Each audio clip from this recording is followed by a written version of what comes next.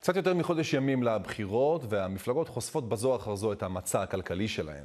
כתבתנו שרון אמן בדקה מה מציעות לנו המפלגות השונות, ומצאה רעיונות דומים, ובעיקר מתקפות אישיות זה על זה. הנה.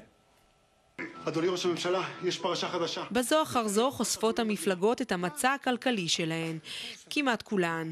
אותו הנושא שהיה אמור להוביל את מערכת הבחירות הנוכחית הפך להיות נלווה לקמפיינים שמתקיפים זה את זה, כשהאתגר הגדול הוא כיצד האחד מבדל את עצמו מהשני. אנחנו המפלגה היחידה שמתעסקת גם באוכלוסיות מודרות. אנחנו מדברים על אה, לפתוח את חסמי התעסוקה גם למגזר החרדי וגם למגזר הערבי. אנחנו אומרים שורה של דברים. אין לנו חשבון, אנחנו לא חייבים לאף אחד.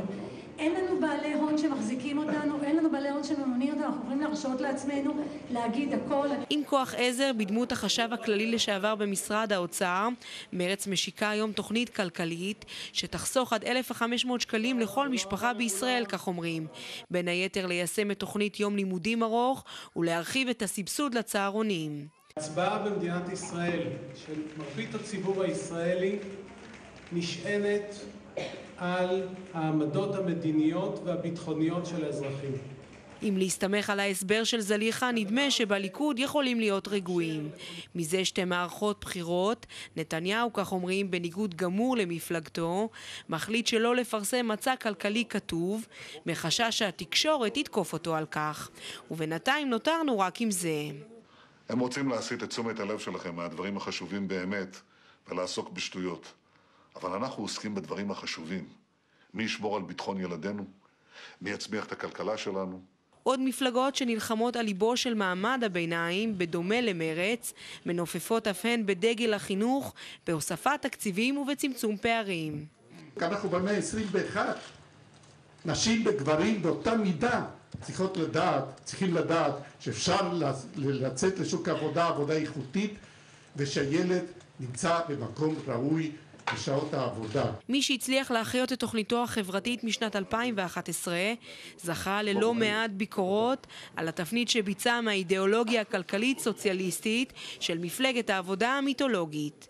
בשונה מהמחנה הציוני שנאלץ לשכנע שגם לא תוכנית עבודה כלכלית מסודרת, במפלגת יש עתיד טוענים שזו הוכנה כבר מראש. להבדיל מכל התוכניות התיאורטיות האלה, אנחנו, יש לנו תוכנית שהיא נקראת תקציב 2015, שעברה ממשלה, עברה קריאה ראשונה בכנסת, עברה את כל, הושקעו, אחד מהדברים שהלב נחמץ, הושקעו מאות מיליונים בתשתיות בעבודת מטה, זה התקציב הכי חברתי שהיה פה מזה שנים ארוכות, יותר מעשרה מיליארד שקל רק לדברים החברתיים. למה ממשלת נתניהו-לפיד הפסידה באוצר? למה הם הפסידו במאבק ביוקר המחיה? למה לא, לא הצליחו לנצח שם? כי לא התעסקו עם זה, באמיתי לא התעסקו עם זה. שיספרו מה שהם רוצים. מי שרוצה עם 19 מנדטים הוא מנצח. מפלגת כולנו מבטיחה הורדת מחירי הדיור באמצעות שחרור חסמים בירוקרטיים, פירוק המונופולים בתחום המזון וגם במערכת הבנקאית. לפיד וכחלון נלחמים למען מעמד הביניים. ש"ס הולכת לדאוג למיליונים שמתחת למעמד הביניים.